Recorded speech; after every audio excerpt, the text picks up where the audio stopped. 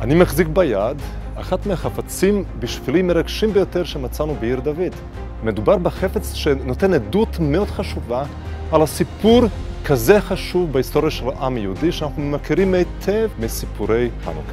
ומדובר ברף גג עשוי קרמיקה. בחפירות חניון גבעתי בעיר דוד, בניהול של פרופסור יובל גדות מאוניברסיטת תל אביב ודוקטור יפתח שלו מרשות עתיקות, התגלו מספר רפי גג הקדומים ביותר בהיסטוריה של ארץ ישראל.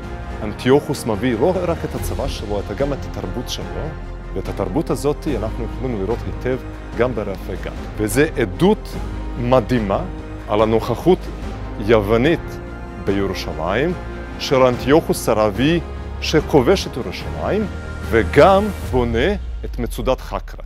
כולנו שמענו מפי הגננת את הסיפור על יהודה המכבי שתיאר את המקדש, ולאור זאת אנחנו חוגגים את חנוכה. אנחנו מכירים מספרי מכבים ומיוסף בן מתתיהו סיפור מלא על כך שבעצם היוונים המשיכו לשלוט בעיר למשך 30 שנה נוספות, שמרכז השלטון שלהם היה במצודה מאוד מפורסמת שנקראת מצודת החקרא, ששלטה בירושלים. בגלל שהמצודה הזאת הייתה כל כך מפורסמת, ארכיאולוגים והיסטוריונים הפכו כמעט כל אבן בירושלים בניסיון למצוא איפה הייתה ממוקמת המצודה הזאת. בשנת 2015 התגלה הקיר שמאחוריי. דוקטור דורון בן עמי ודוקטור יאנה צ'חנוביץ הציעו שבאמת מדובר במצודת החקרא, שנידונה לאורך 150 שנות המחקר.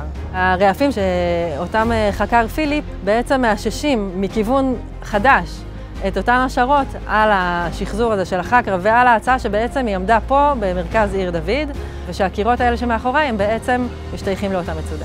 אז אותי זה מאוד מרגש, כי אחרי 2,100 שנה אנחנו יכולים לחזור באופן מוחשי לאירועי חנוכה.